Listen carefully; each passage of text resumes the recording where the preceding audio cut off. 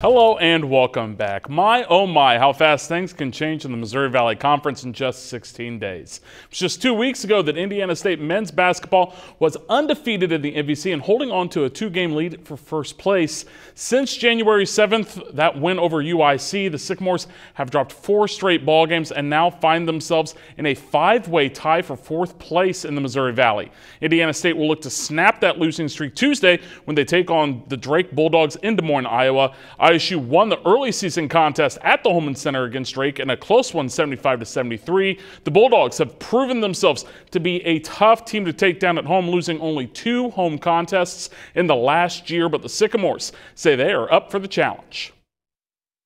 Honestly, we don't look at each game and go, this one's tougher than the last one, but every game in the Valley is kind of tough, whether you're home or you're away. And we just got to go in with the same mentality or even a better mentality to just – play tougher. We just got to be way tougher. This this this conference isn't soft, and if you have soft moments there, it's going to expose you.